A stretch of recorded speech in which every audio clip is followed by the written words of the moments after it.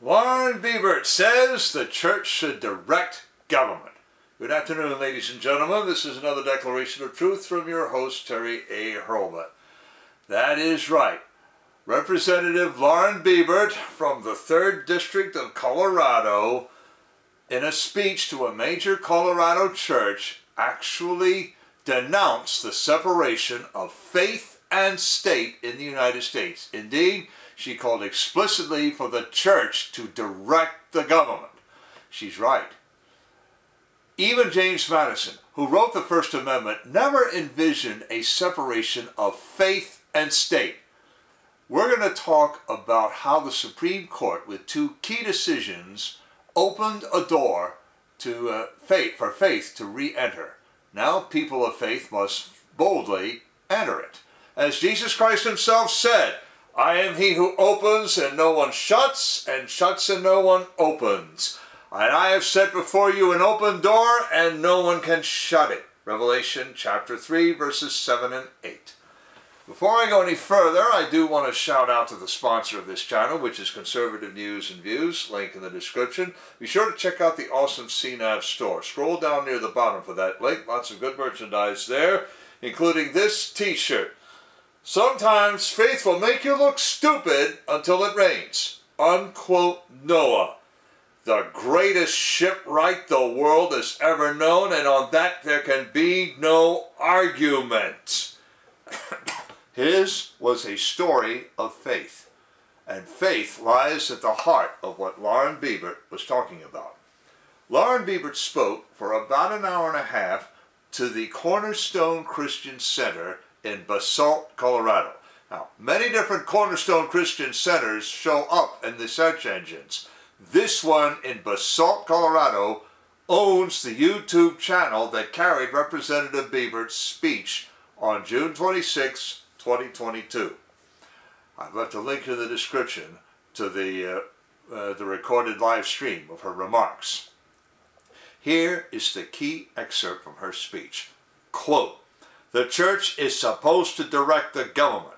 The government is not supposed to direct the church. That is not how our founding fathers intended it. I'm tired of this separation of church and state junk. That's not in the Constitution. It was in a stinking letter, and it means nothing like what they say it does. Unquote, Lauren Boebert. Now, by letter, she means Thomas Jefferson's letter to the Danbury Baptist Association in 1802. He wrote it, of course, in the, in the, toward the end of the first year of his presidency.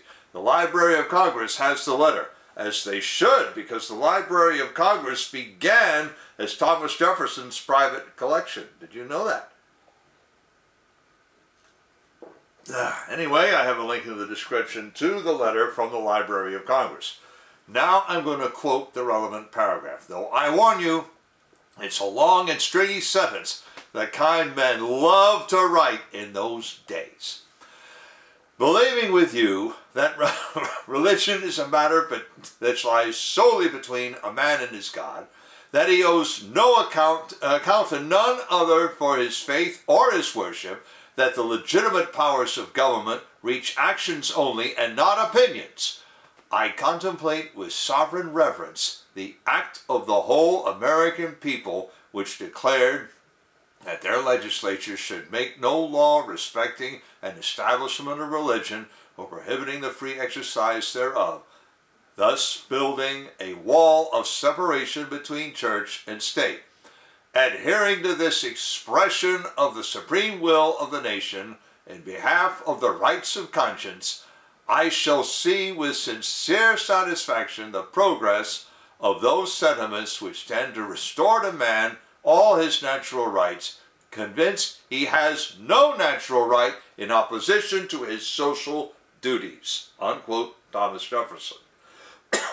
well, I don't quite agree with Lauren Boebert here. This letter does not stink, but that paragraph provides a context almost no one takes into account. Now, Note carefully. A person owes account to none other than God for his faith or his worship. And the legitimate powers of government reach actions only and not opinions. Now, I'm going to go into what that means, but before I do, I do want to shout out to another sponsor, BitNext. This is your replacement for Zoom, Slack, the Google G Suite, Microsoft Office 365, Dropbox, WeTransfer, and Chili Piper, among others. Unlike any of them, BitNext protects your content and conversations so well that even the administrators can't see it. So this is your channel for secure comms, conferencing, cloud storage, and file sharing. Best of all, everything is back end. You don't even need client software. If you have a browser, you can use BitNext. Follow the link and give them a try. 28 days free of charge. You can't beat that with a stick. Okay, where was I? Oh yes, there, the Danbury Baptist letter. And those excerpts I quoted.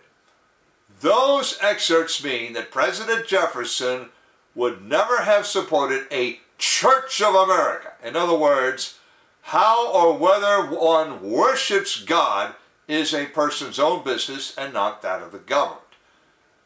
Likewise, the government does not directly employ clergy with ministries to ordinary civilians. Uh, it employs military chaplains, maybe some department chaplains, but not ordinary folk. But it does not mean that the government never supports the ideas of religion.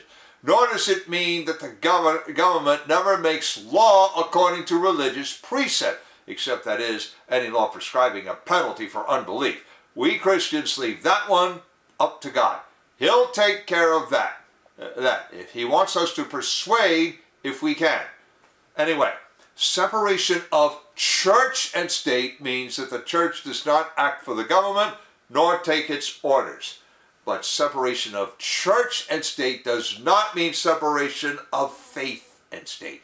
Therefore, if we cannot persuade unbelievers, that does not mean we accommodate them in everything. For the spectacle of separation of faith and state, you can blame James G. Blaine and President Ulysses S. Grant, who put him up to it. I covered that, that sorry history of Blaine and his amendments when I talked about the Supreme Court's decision in Carson versus Makin. That, of course, is how the court repudiated Blaine. And it repudiated even more Blaine precedents with Kennedy versus Bremerton School District. Blaine acted as he did in the dark spirit of discrimination. Sadly, the Supreme Court still has on it three members who seem to believe that only atheism can avoid conflict. This trio will, sit, will see one substitution next term with the installation of Ketanji Brown Jackson. Now, here's something Lauren Boebert could have mentioned, but I don't think she did, because if she had, somebody would have quoted her on this. Believe you me. Did you know that 12 of the 13 original states had established churches of their own? They didn't teach you that in civics class, did they? Yes. Now, James Madison declared that Congress should not establish a federal Church of America, but no one proceeded against any of these state churches. That is, until James G. Blaine proposed an amendment to the federal Constitution forbidding any government support for religious schools. That amendment failed of proposal by four Senate votes. So he took his case to the states. 38 states ended up passing Blaine amendments. The one, Louisiana, repealed its amendment in 1974. How? And it's only fitting that Lauren Boebert, a member of the House of Representatives, should denounce uh, movement towards separation of faith and state by a past Speaker of the House. All right. Now, where do we go from here? How do we move forward? Lauren Boebert, probably without realizing it, has touched on the need for America to become a civilizational state. A civilizational state has a civilizational principle. Atheism or secular humanism cannot serve as a civilizational principle. Atheism is, in fact, a cult of death. We see this cult in action today with people threatening defiance of the Supreme Court's ruling in Dobbs v. Jackson Women's Health Organization. Now, that threat is probably empty because you don't defy a simple refusal to give orders one way or the other. But as I said before, the Supreme Court didn't find in the Constitution a right to life. Actually, the Constitution assumes a right to life because it enjoins the federal and state governments not to deprive a person of life without due process of law. So what is human life and when does it begin? For answer, look to King David of Judah, Psalm 139 verses 13 through 16. There it is. All about how God knew each of us while our mothers were carrying us.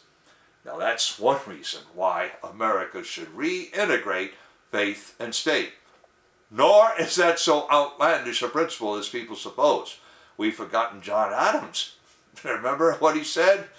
I, I quote, Our Constitution was made only for a moral and religious people. It is wholly inadequate to the government of any other. Was correct. Power abhors a vacuum, and without God, the power of a few human beings, an oligarchy, supervenes. The Supreme Court broke the back of the oligarchy in its last term. The American people must return to God before the oligarchy can recover. Links to the description of the article, to Lauren Boebert's uh, live stream, to the Danbury Baptist Letter, and to Conservative News and Views. I have another link to the awesome online store and to BitNext, as I also mentioned. And if you like what you've heard, you can like this video. And on the end screen, I'm going to put in a subscribe link and also a link to a playlist I just created containing every video I've mentioned this time in the rough order in which I mentioned them. This is Terry A. Hurlbut delivering another declaration of truth and reminding you to let the truth set you free.